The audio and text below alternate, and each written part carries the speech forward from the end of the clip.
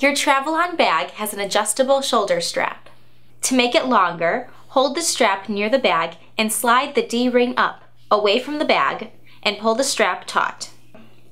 To shorten the strap, hold the upper strap and move the D-ring down toward the bag. You may need to feed the strap through the D-ring. Your bag is now ready for use. Find more helpful videos at travelonbags.com.